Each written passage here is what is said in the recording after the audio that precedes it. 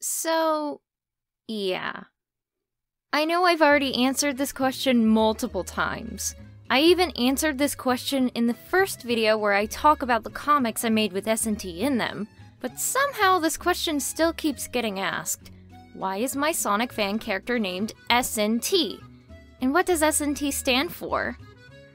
For those that stumbled upon this video without any prior knowledge of me, hi, I'm Courtney, and I made this video in 2016 about a Sonic the Hedgehog comic I made when I was 10. It starred an original character named SNT, and it has become my most popular YouTube video. This character has also been this channel's namesake for over 10 years. She is very important to me, as you can imagine. And yes, I absolutely know that her name can be confusing. So this is why I'm making this video, to clear the air and to give the people that are likely to ask this question in the future a reliable source that I can link them to. So let's begin in the beginning. The year was 2004. I had just gotten into Sonic thanks to my friend Jake sharing a Sonic heavy issue of Disney Adventures magazine with me. This wasn't my first time being exposed to Sonic, mind you. A few years prior, I watched Sonic Underground in the mornings before Pokemon came on, and I didn't really think much of it. However, when Jake info dumped the lore of Sonic and his many friends, I suddenly became a lot more interested in the series. We roleplayed as Sonic characters on the playground after school with our friends, and I would always be Cream the Rabbit. And then, I never saw him again.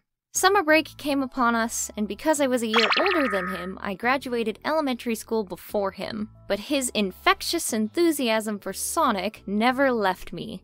I carried it with me all throughout my summer break, where I found children in my summer camp program who were just as excited about Sonic as I was. We role-played out battles with Dr. Eggman, only this time I would be playing a character that I thought up on the spot, a robot built by Eggman that looked like a female hedgehog. No relation to Breezy, because I didn't know about Adventures of Sonic the Hedgehog as a kid. As time went on, I started developing this character more. The school year started back up, and I started drawing what was essentially prototype versions of SNT, a robot disguised as a female hedgehog named Sonia. I'm sure Sonic Underground influenced the name choice. Unfortunately, practically all drawings of this character have been lost to time, but I do remember giving her a ponytail much like SNT has now, as well as Amy's dress in dark blue. Eventually, the idea of a girl having secret ties to Eggman was repurposed into something else. This would happen when I met my cousins. They were named Jacob and Callie, Jacob is the key to this whole story.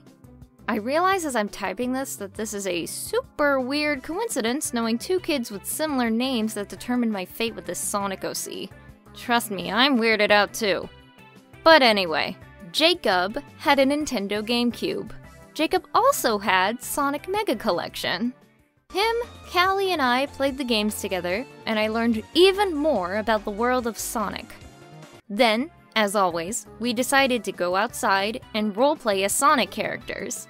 I mentioned to Jacob and Callie that I was gonna make an original Sonic character that was a female experiment created by Dr. Eggman to befriend Sonic so that he could fall in love with her and she could backstab him. Jacob and Callie were very interested in the idea, so I explained further. I mentioned that Eggman created this experiment using the DNA of Sonic, Knuckles, and Tails. That way, she could easily defeat Sonic and his friends. She wasn't a villain, though. She was actually a good guy that will eventually betray Eggman. Then I mentioned how I had no idea what to name this character. I had thought to reuse the name Sonia, but I wasn't in love with the idea. Then Jacob, young and bright-eyed, said this to me. Why don't you name her SNT? You know, like Sonic, Knuckles, and Tails. Now, mind you, I was fully aware at the time that Knuckles started with a K, and I did correct him on that. But the more I thought about the name SNT, the more I started to like it. Not really sure why. At the time, it just felt right. So, the name stuck. Her name was now SNT. The day after, I drew my very first drawing of SNT. I gave her a ponytail like Sonia had, and she had a dress like Amy's, except now it was pink instead of dark blue. I also added more embellishments that would stay part of her design even to this day. Her purpose was changed just a bit from a long game double agent to a general ultimate weapon, but her personality stayed pretty much the same throughout. She was, and still is, my baby, and her name was SNT.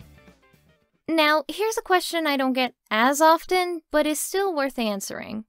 If you know Knuckles starts with a K, then why didn't you ever change it? And will you ever change it? Well, I have a simple answer and a complicated answer. I'll start with a simple answer first. I just like how SNT sounds. It rolls off the tongue better than SKT does, and other rearrangements of the letters just don't sound right to me. Her name has always been SNT, and I don't see any point in changing it. Now, here's the complicated answer. About three or four years ago, after that fateful day, something happened. Something so awful that to this day it still rocks me to my core when I think about it. I'll leave a trigger warning just in case. Jacob, the kid that spoke those life changing words to me, was hit by a drunk driver. He was outside playing in the front yard when someone swerved off the road and hit him.